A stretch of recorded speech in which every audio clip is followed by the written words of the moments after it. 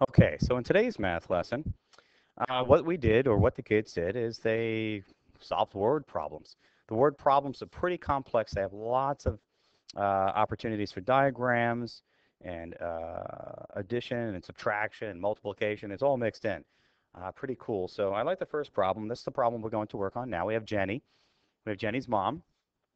She tells Jenny she has an hour before it's bedtime, one hour. That's an important piece of information. I'll circle that. Jenny spends three fifths of the hour texting. All right, that figures. There you go. She's texting a friend. Now she's she's spending three eighths of the remaining time. That's important. Three eighths of the remaining time. Let's circle that there. That's key. Brushing her teeth and putting on her pajamas. And then she spends the rest of the time reading her book.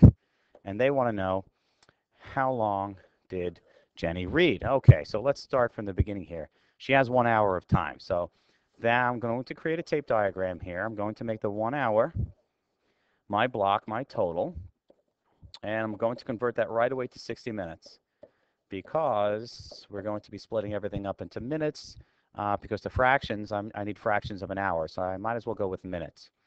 So let's deal with Jenny with her texting. She spends three-fifths of the hour texting a friend, that's most of the uh, most of the hour there, more than half. That's a lot of texting. Uh, but let's find out exactly how many minutes the, we're talking about here. So 3 fifths. I'm going to split this into fifths. One, two, three, four, five. I'm looking for three of them. Three of those fifths right there and the value of that. But now that I have five boxes, I have a total of 60. I want 3 fifths of that 60.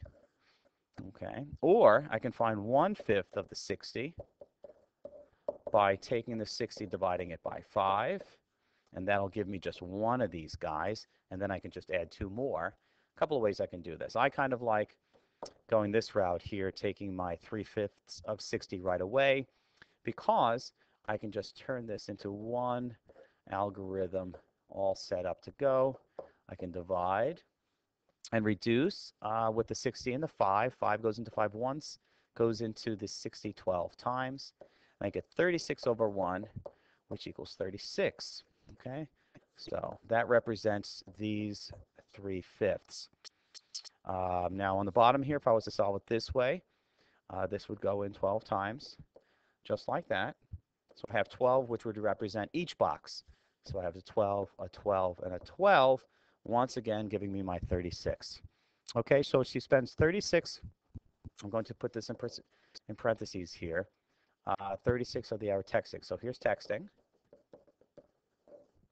Okay, so 36 minutes texting. All right, so part one is done. Now, uh, the remaining time, the remaining time, she spends three eighths of that time brushing her teeth and putting on her pajamas. That's this here. This is the remaining time. Okay, well, if the whole thing is 60, I need to find out this guy right here. So I need two, two of the fifths, which is two of the 12s, which is 24, because if this is 12 and this is 12, that means the remaining time is 24 minutes. Okay, so she spends 24 uh, minutes not texting. Three fifths of this I'm sorry, three eighths of this is, um, is brushing her teeth and putting on her pajamas. So I'm going to create another tape of the remaining time. The remaining time is 24 minutes. Okay, I found that once again by looking at what's left, and this is 2 fifths that's left. Two of them, 12 each. There's 24 minutes. Now she spends, once again, 3 eighths of that brushing her teeth. So 1, 2, 3, 4, 5, 6, 7 eighths. I have eighths, three of them, one, two, three, brushing her teeth, putting on her pajamas. So I need the value of these guys right here. So I can do 3 eighths of 24, which equals 24 times 3 over 8. Once again, I can reduce. I can divide both of these by 8. And I get 3 up here and a 1 down here.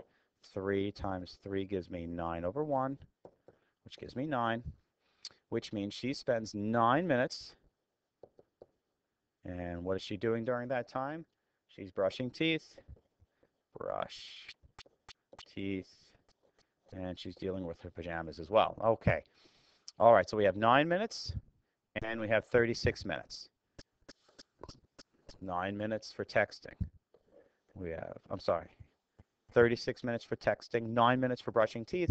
She spends the rest of the time reading her book. Well, the rest of what time? Well, she had an hour to begin with. So that's the 60 minutes. So one more tape. I'm going to put it right over this problem. Here's my 60 minutes. She spends 36